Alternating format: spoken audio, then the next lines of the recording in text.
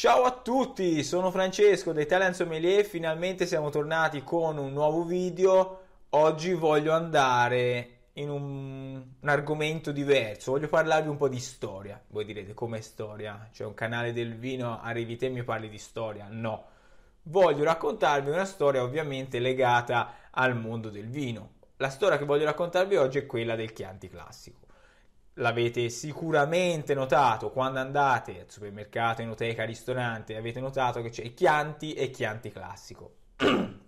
Cosa si intende per classico? Partiamo da questo, da questo appunto.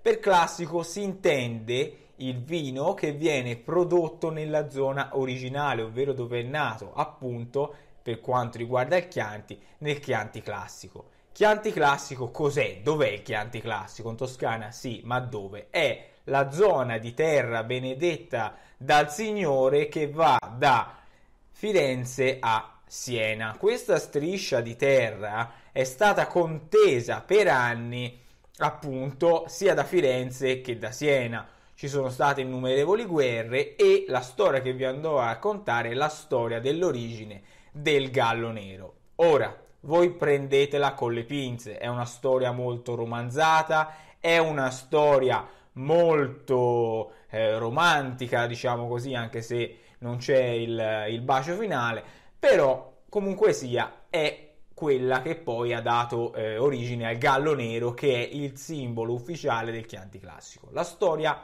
tirandola eh, a concludere, è questa. Firenze-Siena si litiga come al solito, si parla di molti anni fa, eh, non cose recenti, tempi medievaleggianti, Firenze e Siena si litigano il terreno, il territorio. È da sempre stato così, soprattutto nei tempi antichi. Stanchi di farsi la guerra, stanchi dei morti, delle enormi, eh, ingenti risorse impegnate, decidono di risolvere la questione in un metodo alquanto singolare. Come funzionava? Funzionava in questo modo un cavaliere partiva da Firenze, un cavaliere partiva da Siena e nel punto dove si incontravano questi cavalieri si sarebbe tirato una sorta di solco, ovvero la parte cavalcata dal cavaliere di Firenze sarebbe stata ovviamente di Firenze, la parte cavalcata dal cavaliere di Siena sarebbe stata ovviamente di quello di Siena. Qual è adesso la questione? Siccome eh, sono tutti e due molto furbi, cosa fanno? Ognuno si affida a un gallo perché al tempo non c'era lo smartphone per mettersi la sveglia. Allora cosa fanno? Scelgono due galli. Uno lo sceglie nero, uno lo sceglie bianco. Siena lo sceglie bianco, Firenze lo sceglie nero. Due strategie diverse. Siccome il gallo è quello che alla fine aveva eh, in pugno tutto, cosa fa il popolo di Siena? Decide di eh, riempire di mangiare questo gallo. Dicono, pensano, Ok, noi mandiamo il gallo a letto bello pieno, con la pancia bella piena, domani si sveglia bello in forza, canta all'alba bello forte, il nostro cavaliere lo sente, parte e guadagniamo terreno. Dall'altra parte, a Firenze, fanno l'esatto opposto. Cosa succede? Loro scelgono il gallo nero e gli dicono noi non gli diamo niente da mangiare a questo povero gallo. Così domattina si alza perché ha fame e canta disperato perché vuole mangiare. Indovinate quale dei due ci ha indovinato? Esattamente, quello di Siena. Cosa mi sveglia a fare? Sono a pancia piena, me ne dormo bella beata.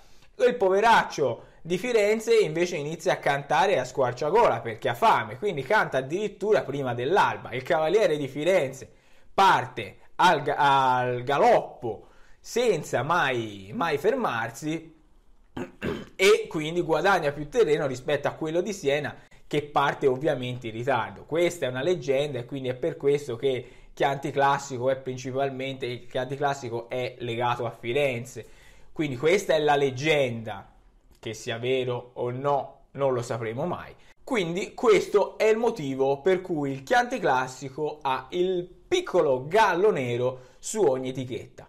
Noi ci vediamo presto, prestissimo con un altro video. Ciao da Francesco.